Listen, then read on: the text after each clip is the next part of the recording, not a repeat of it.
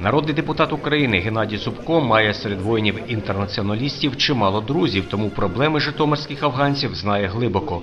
У своєму виступі парламентар наголосив, що вже протягом 25 років влада приділяє проблемам воїнів-інтернаціоналістів недостатньо уваги. А в інтерв'ю обласному телебаченню Геннадій Зубко, зокрема, сказав. Сьогодні для кожного воїна-інтернаціоналіста потрібна увага, його бачення, його позиція з приводу того, що саме в Україні потрібен сьогодні виважений підхід до вартості людського життя. І я вважаю, що держава е, за словами подяки повинна йти з звітом, що саме за минулий рік було зроблено для кожного воїна-інтернаціоналіста, для їх дітей, для їх дружин.